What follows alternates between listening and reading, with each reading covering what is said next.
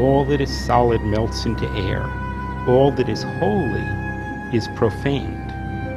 And man is at last compelled to face with sober senses his real conditions of life and his relations with his kind. My name is Bertolt Brecht. I am a playwright and a poet. Playwright and poet. Yeah. Uh, Mr. Brecht, are you a member of the Communist Party?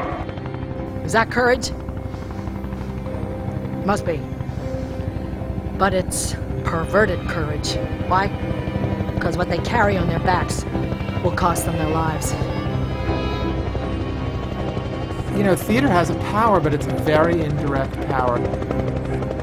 The problem with the formulation, you have nothing to lose but your chains, is that we so rarely get to those moments in history where it's literally change or die.